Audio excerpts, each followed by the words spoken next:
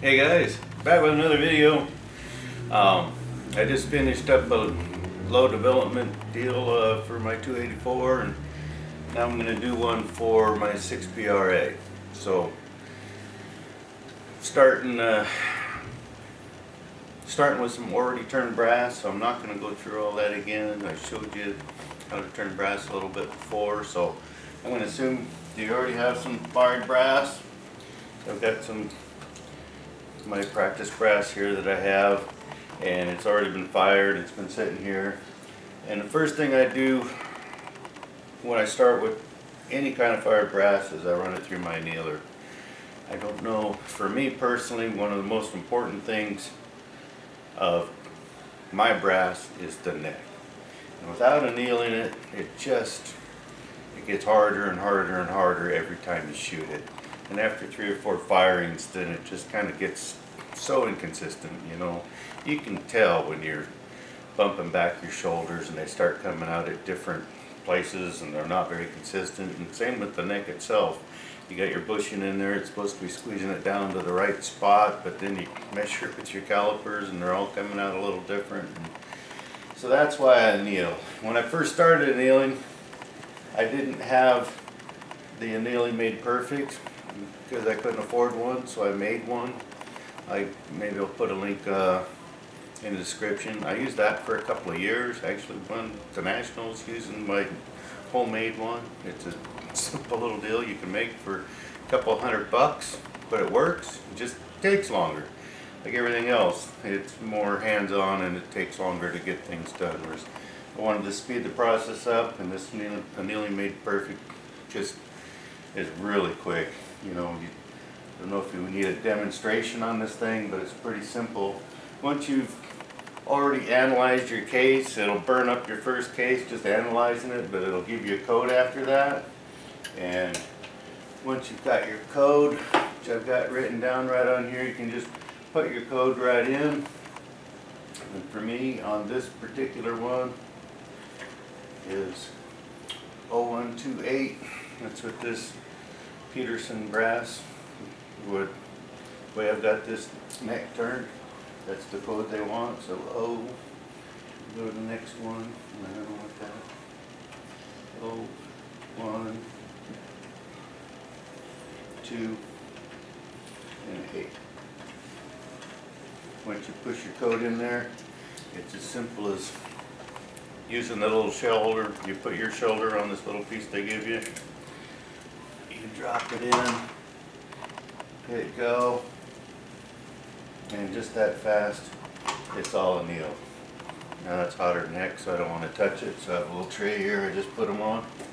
But simple as that, anneal all my brass, it kind of softens up that alloy, because every time you fire it, for whatever reason, brass gets harder and harder, but if you anneal it, it just brings it back to its original state, where it's soft and works well again keeps all your cases consistent at the same hardness level, I guess, best way to put it.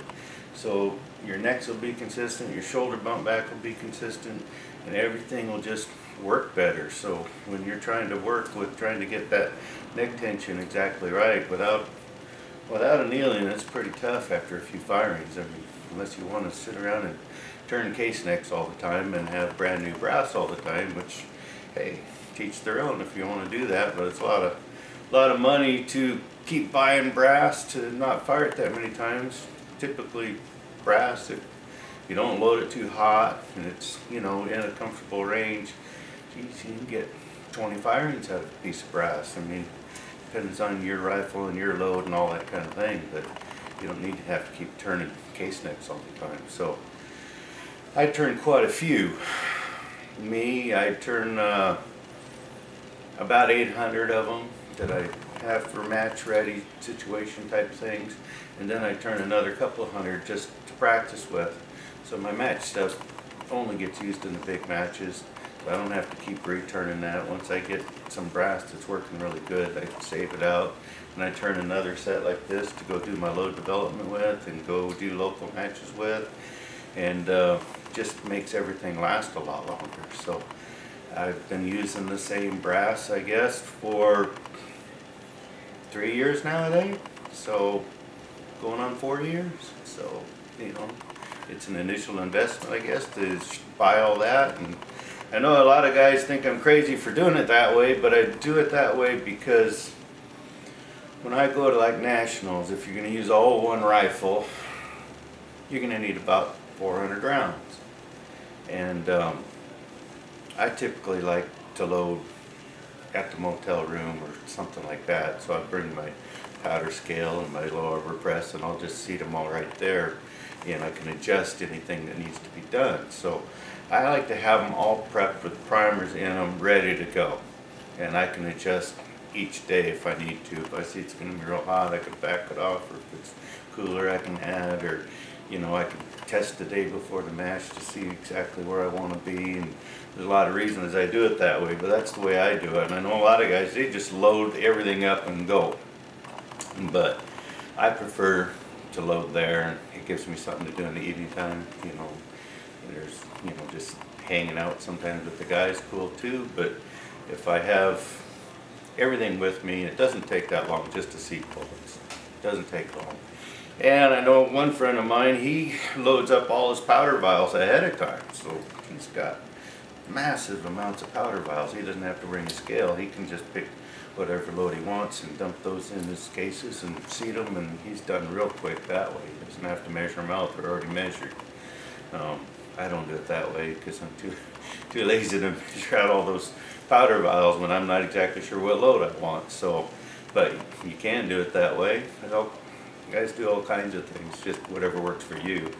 I just prefer to bring my scale and, and my, uh, my little arbor press and just seat them all right there, maybe Maybe it takes me an hour and I can, maybe two hours at most, and I can load enough for two days, and then, you know, on the break day, I can recheck my touch point and all that kind of thing, and get ready for the thousand, and I can readjust everything and have it just right for the thousand. So I just do it all on the fly right there at the room. But, uh, having all your cases done, annealed, sitting there primed, ready to go, makes that a lot easier. I know some guys, they reload all their ammo every single night down there, but I tried that my first year when I was just way too tired.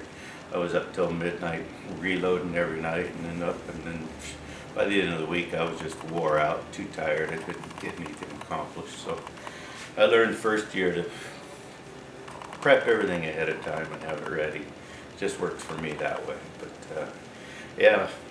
I don't know how many other guys actually do it that way, but I do it that way. A lot of guys don't wanna, don't wanna prep that much brass, don't wanna turn that many necks, don't wanna do all that, but I look at everything long-term and, you know, figure, well, it's good for a few years if I do it that way, I don't keep turning necks.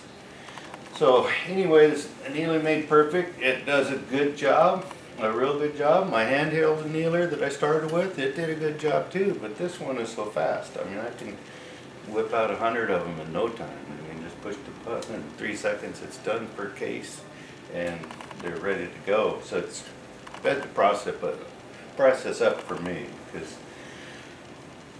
the way I do things, I do everything by hand. I don't have the big fancy auto reloaders and everything, so it takes me just about all day long to do, you know, a hundred pieces of brass. So uh, this cut that time down quite a bit. I mean, the way I was doing it by hand, it was taking me two and three hours just to, to anneal all the brass. So guess everything would get too hot, I have to wait for it to cool down. Whereas this thing, it'll do a hundred of them without worrying about it. So sped everything up a lot. But anyway, this will be the first step in uh, my new video series about doing 6BRA.